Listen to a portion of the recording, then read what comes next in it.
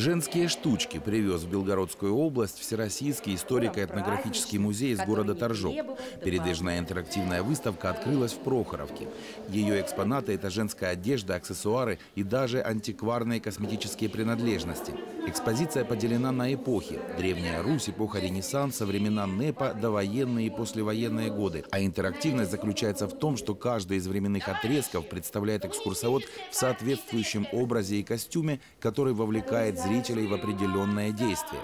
И сюда загляну на часок, помогайте, хоть я с вами совсем